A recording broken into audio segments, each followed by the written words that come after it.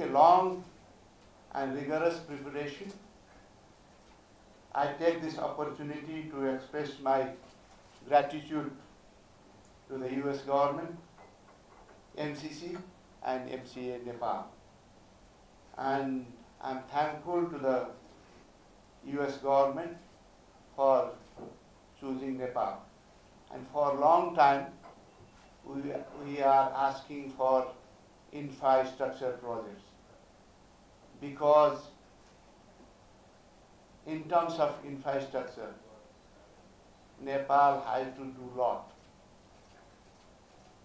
in terms of roads, in terms of transmission line, in terms of many other infrastructure projects. I'm glad that the two major infrastructure component is covered with this MCC supported project, roads and transmission line. Why we are, we are saying roads? Because we need decent roads so that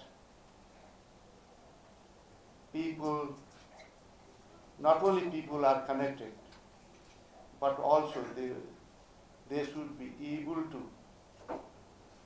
engage in businesses and production activities that they can take it to the market. That is why road project is important for us. At the same time, transmission line is important for us. We have good hydropower potential and we are going good in terms of production. But to take that production to the market is crucial. That is where importance of transmission lines come. That is why major component of this project is transmission line.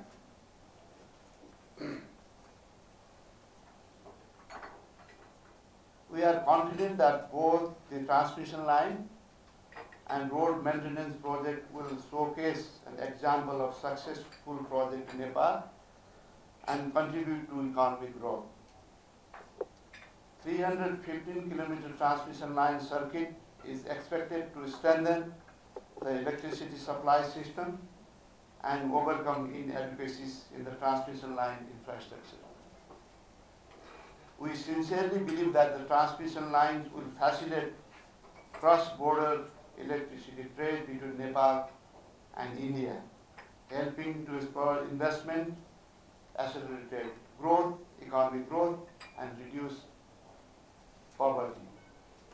Similarly, the road maintenance project will help enhance Nepal's current practices in the maintenance of road with the introduction of climate smart and sustainable technology. MCA Nepal, the government of Nepal, in, entrusted with program implementation has completed most of the preparatory work except difficult land acquisition work. I trust MCA Nepal will work hard with focus on remaining works and complete on time utilizing all earmarked funds. We, we arrived at this launching event today after a decade-long collaboration. We don't have time, and frankly, be a bit boring uh, if I talked about everyone's contributions uh, in the room. I would be remiss if I didn't particularly uh, thank the minister and the secretary for their leadership, their engagement, and their involvement. Um, but maybe let me address the involvement of the government of Nepal more broadly. Uh, and that involvement has, of course, been across governments. Um, and really, its commitment to ensuring that this program meets the needs and priorities of the people of Nepal, as the ambassador referenced. Uh, and let me give just a couple of examples. You know, that's everything from uh, support to the establishment and ongoing accomplishments of the MCA. Uh, that's the transparency uh, and the commitment to inclusive consultation with communities uh, that are affected by the infrastructure works on the uh, projects. that's designating the energy transmission project as a national pride project, setting up the regulatory environment, strengthening that. I could go on and give many other examples of that. Uh, and for that, we appreciate, uh, appreciate the work. Look, we, we've been steadfast partners, uh, MCC and the government of Nepal, going back to the earliest days of, of compact development.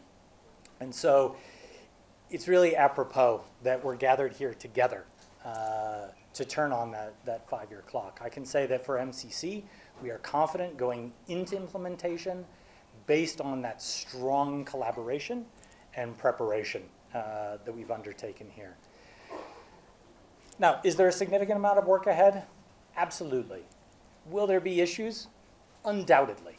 But because of that strong collaboration and the preparation, I look forward to five years from now being able to look at the results of what we've achieved, being able to talk about a stronger power sector that has increased reliability of electricity uh, to the people of Nepal.